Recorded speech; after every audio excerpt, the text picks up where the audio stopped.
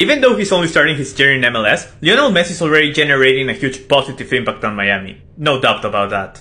What's funny though is that just after Messi's presentation, former MLS superstar and DC United's head coach Wayne Rooney was quoted saying, He won't find it easy here. Messi only took 58 minutes to score 3 goals for Inter Miami, all of which were complete bangers. That's the least amount of time it has taken for him to accomplish that with a new club in his professional career. Come on, Wayne. One could say that fans find your lack of faith disturbing.